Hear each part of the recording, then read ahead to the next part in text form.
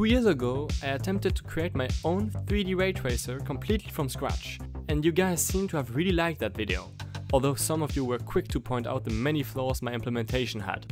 And yeah, while I got the idea right and managed to create some nice looking renders in the end, it was my first dive into this huge topic, so it had its shortcomings. The most questionable design choice I made was definitely to program the entire thing in Java without any graphics API, which is really not ideal for real-time ray tracing applications. That version also lacked some key features of ray tracing, notably global illumination, and it didn't really look that realistic. And to be honest, the reason for that is simply that I forgot that light and color are actually real things and not just something coming off a computer monitor. But who can blame me for that?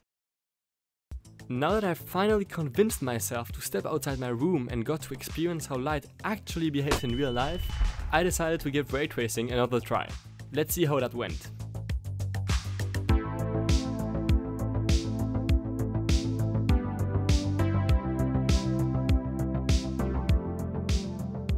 For starters, let's not use Java this time and instead go with C++. And most importantly, I'm going to use a graphics library, namely OpenGL so that we can use the GPU to draw things a lot faster. The main difference is that before, I wrote one program that would be executed by the CPU to draw each pixel one after the other. This is a huge waste, because the color of one pixel is independent of all the others, so there's no reason to wait for one pixel to be drawn before moving on to the next one. With OpenGL, we can write the code as a fragment shader, which is a program whose only task is to figure out what color a single pixel should be, the GPU can then execute this program many times in parallel, once for every pixel of the screen, which is obviously a lot faster. So, if we know what objects are in our scene and where the camera is, how do we figure out what color a single pixel should be? Well, let's do a small recap about the basics of the ray tracing algorithm. The main idea is that we want to simulate the path of light as well as the way it interacts with the scene, the intuitive approach would be to shoot many light rays from our light source and detect which rays reach the camera. However, this means we waste a lot of processing power simulating light rays that will never reach the camera. The solution? Shoot rays from the camera instead and calculate how much light should be reflected to the camera at the hit points. That way, we only need to care about the points in our scene which will actually be seen by the camera. We can calculate how much light from the light sources will be reflected from that point, which is called direct illumination, but also how much light from surrounding objects will be reflected, which is called indirect illumination. The indirect part is the trickiest, but is required to achieve global illumination and create very realistic looking renders. It is also something entirely missing from my last ray tracing engine, which is partly responsible for the fake look that one had. Compute direct lighting for a pixel, the program finds the closest intersection between the camera ray and our scene. The direction of this ray is the direction the camera faces, offset according to the pixel's screen coordinates. Pixels that are directly in the center of the screen will shoot straight rays, while pixels that are more on the sides of the camera will shoot more divergent rays.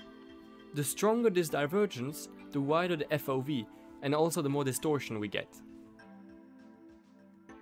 Once an intersection has been found, a ray is cast from the hit position to the light source. If the ray is blocked, the pixel doesn't receive any direct light, which is how shadows are created. If the path to the light isn't blocked, we need to compute how much light from the sources will be reflected to the camera. A simple way to estimate this is to multiply the light's color by the object's color, or albedo, and then multiply that by the cosine of the angle between the surface normal and the light direction. Because directions are represented by unit vectors, this cosine value is just the dot product of the two direction vectors.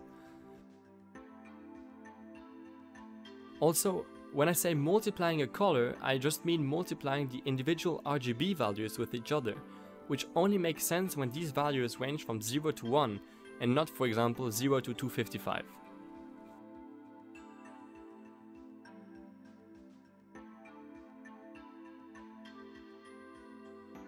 One problem of this simple approach however is that the shadows we get end very abruptly, which isn't very realistic as real life shadows usually have smoother edges. This is because light sources like the sun or a light bulb don't just emit from a single point. Areas near the edge of a shadow can therefore receive a small part of the light that isn't completely blocked, which is called the penumbra. We can simulate this effect by giving the light sources a radius and casting multiple rays to different points on the light sphere. The proportion of rays that successfully reach the light is then used to calculate the received illumination.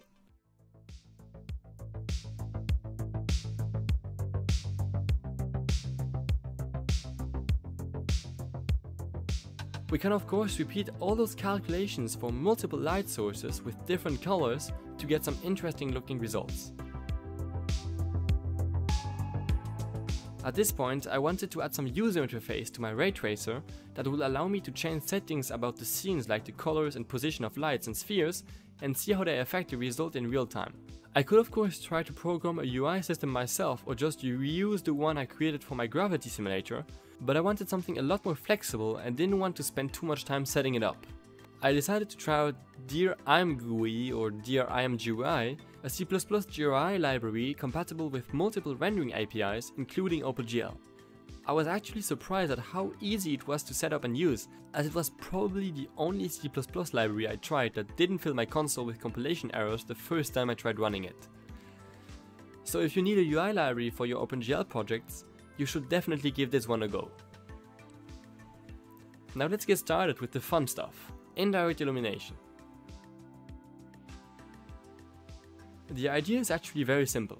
For every point a camera ray touches, we can cast a bunch of rays in surrounding directions and treat every point we hit as its own light source, emitting the light it receives back but multiplied by its albedo.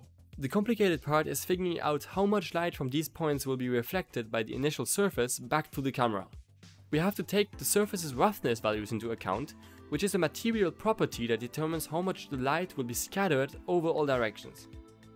A roughness of 0 means all the light is reflected into a single direction, like a mirror, and a roughness of 1 means all the light is reflected evenly around the surface as normal, like a sheet of paper for example. This means that for a very smooth surface, points that aren't aligned with the reflected ray direction will almost not contribute any light to the final color. My first attempt at implementing indirect illumination didn't really work out that well, but eventually things started looking a lot better. There still is a massive problem though, noise. The reason for these noisy looking renders is that the program only casts a limited number of rays for every hit point, so the program tries to estimate how much light should be received in total, but these estimates lack sufficient information and can be very inconsistent from pixel to pixel. The obvious solution is just to increase the number of rays, or samples, but doing that exponentially increases the amount of calculations required per frame and severely reduces the program's FPS. Another solution is to use machine learning to more accurately predict the colors with fewer samples, which is what Nvidia's RTX technology does, but that seems way too complicated for me. Instead, I want to use something called progressive rendering. The idea is that instead of rendering every frame from scratch, we use the last rendered frames as additional information to render the current one. There are several ways to do this, but I decided on a very simple implementation. Basically, Instead of directly rendering our scene to the screen, we first add the rendered frame to a buffer. By adding, I don't mean appending it to a list, but rather adding the RGB channels of every pixel of the frame we render to the RGB channels of every pixel already present in the buffer. We also keep track of the number of frames we have already added to the buffer. After doing that, we take what's in the buffer and divide the color channels by the number of frames already rendered, and render that to the screen It's actually just a way of averaging all successfully rendered frames before drawing them to the screen. This way, if we use a different random seed to cast our rays for every frame, the image will eventually converge to the actual expected look. Of course, there is one massive downside of this approach, which is that moving the camera will make everything look like a blurry mess. To avoid this, I just clear the buffer every time the camera moves to re-render everything from scratch. This means we will still get significant noise while the camera is moving, so this approach does feel a little bit like cheating, considering our objective was to make it run real time. But I don't have a better solution for the time being. Now let's talk about reflections, the most recognizable feature of ray tracing. If you think about it, ray tracing is actually just a form of indirect illumination. Just instead of sampling in random directions, you sample along the reflected direction, or randomly inside a cone around the reflected direction to get blurry reflections. This is once again related to the surface roughness. If it is 1, we sample in all directions, and if it is 0, we only sample along the reflected direction. This is how that currently looks in our scene. It still doesn't look that good, but you can greatly improve it by adding a skybox.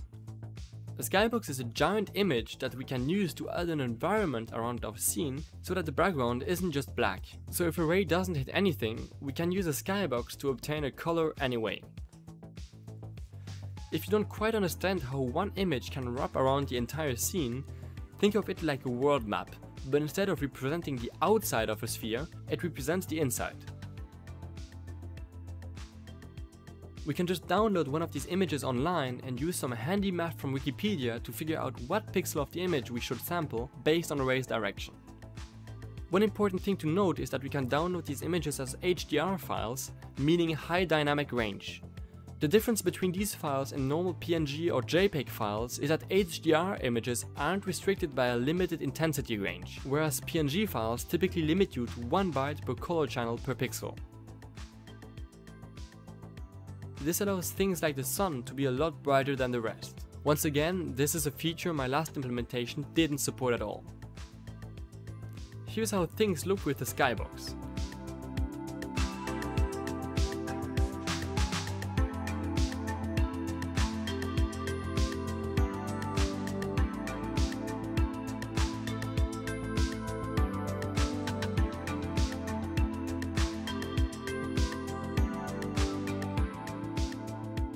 Now you might have noticed another issue. Reflections don't exactly look like the original objects. This is because currently indirect illumination calculations, which include reflections, only consider direct illumination. Calculating indirect illumination at one point should also calculate indirect illumination at the sample points in a recursive way. Luckily, we can just tell our function to call itself, which makes fixing the problem really easy. Right? So apparently GLSL doesn't support recursive function calls, which is quite a problem considering I wrote my code to specifically rely on this for global illumination. So what do we do now? Guess it's time for a major rewrite. Yay! So I took a look at some existing ray tracing examples, particularly this one which I'll link in the description. The approach taken by the author is quite clever. Instead of sampling multiple rays per hit, we only focus on the path of a single light ray per pixel per frame.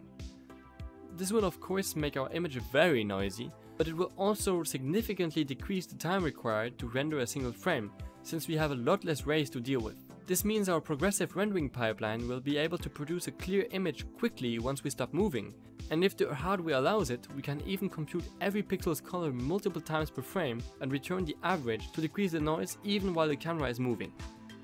Now that we always have one ray per intersection, we no longer need recursion, as we can simply use a for loop to iterate through the different steps of the ray's path. If we increase the number of iterations, we get more depth in our reflections, at the expense of performance of course. I then added a way to spawn new objects, select them, and as I was tired of just seeing spheres, I added a way to turn them into boxes. We now have pretty much everything we need to create beautiful 3D renders, but we can still add some simple effects to polish our images a bit. One problem we still have are these jagged edges that don't look realistic at all. This is something called aliasing and happens because all camera rays for a single pixel are always cast in the exact same direction, which means that a pixel's color is entirely determined by a single point in the scene. To smooth out our edges, we should base a pixel's color on multiple points lying inside it. A simple way to do this without sacrificing frame rate is to take advantage of our progressive rendering pipeline and simply add a slight random offset to every ray's direction on every pass. Of course, if this offset is too big, we get a blurry mess, but even a very small offset is enough to decrease aliasing to unnoticeable levels. Another effect we can add is bloom, which makes emissive objects glow and can make things look a lot more photorealistic. However, bloom is extremely difficult to get right, and what I did in my previous ray tracing video actually looked pretty terrible. Now the most important lesson I've learned from my previous attempt is bloom looks best when it's kept subtle, so I'm always going to keep its intensity way down. Although there are many other features I would like to add, for example mesh rendering, volumetric lighting and transparent materials, I'm going to end this project here, for now. I just added one last feature, which is the ability to render simple animations with pre-programmed camera paths. These are of course not rendered in real time, as I want to have as little noise as possible. I've tried recreating the scenes I made from my last ray tracing engine in this new engine, and in my opinion, they definitely look a lot better now. Please let me know what you thought of this video and don't hesitate to point out tips you have or mistakes I made in the comments. But now before I end this video, I need to address the elephant in the room, which is of course the fact that I haven't uploaded anything for almost a year. I can assure you that this was not caused by a lack of motivation. I was actually extremely frustrated that I couldn't make more videos, especially considering the amazing growth the channel went through at the end of last year. Actually, let's talk about that. I have no idea what happened. First, the Minecraft stop motion clips I created in the last video blew up on TikTok and other social media. Then Jake Eyes himself saw the video and gave me a shoutout. And a few months later, one of my older, until then least successful videos blew up here on YouTube to levels never seen anywhere on this channel. And I was forced to look at this, unable to publish another video. So why was that? Why hasn't there been a new video in almost a year? Well, turns out 2021 and 2022 happened to be very important years for me, where I had other stuff I needed to focus on despite them being a lot less exciting than what I do here. The second reason was that I started about 5 different projects, and none of them seemed interesting enough to be the main focus of one of these videos. When the Virus Evolution video blew up, I dropped the project I was working on to create a sequel to that, but I quickly lost motivation, realizing I wouldn't be able to create something so much better than the first time in a reasonable amount of time. However, there was another sequel many of you were expecting, which is the one you are currently watching. I knew it would also take a while to complete, but the idea motivated me a lot more, and I truly hope you enjoyed it. Some of you also found me on Discord and have reached out asking what was happening, which was very nice.